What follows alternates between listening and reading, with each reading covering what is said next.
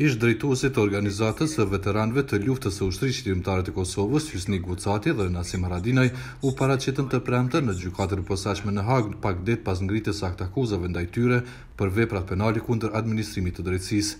Prokuroria e Posaçme akuzon zotin Gucati dhe zotin Haradinaj për pengim të personave zyrtarë në kryerjen e detyrave zyrtare, për frikësim të dëshmitarëve për hakmarrje dhe shkelje të fshehtësisë së procedurës.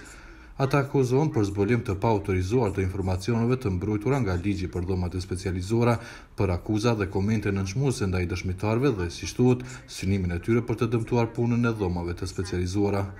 Organizata e Veteranëve të Luftës në tri raste gjatë muajit shtator tha se ka marrë nga persona të panjohur mijëra dosje të Gjykatës së Posaçme, që dëshmojnë për bashkëpunim të saj me autoritetet e Beogradit dhe për, siç thuhet, karakterin e saj të njëanshëm.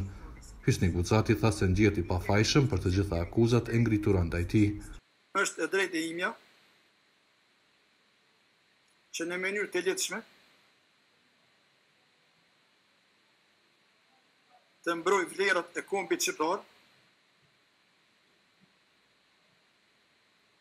dhe të Ushtrisë Çlirimtare të Kosovës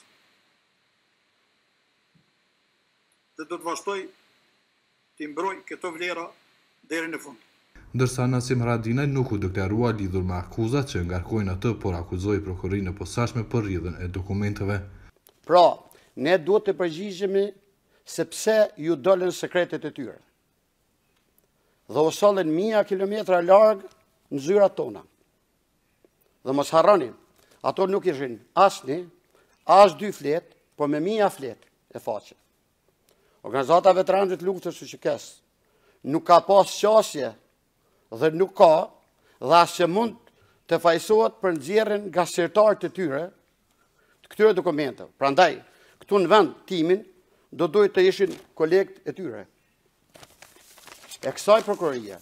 Ai tha se veteranët e luftës së ushtrisë çlirimtare të Kosovës kanë qenë çdoherë dyshues ndaj punës së prokurorisë së posaçme. Po e them sinqerisht, zoti gjykatës, se për mendimin tim, kjo prokurori është së pari politike, selektive dhe e njanshme. Por tani, me këtë veprim të tyre, po dyshoj edhe po bindem se është, është Edhe e korruptuar.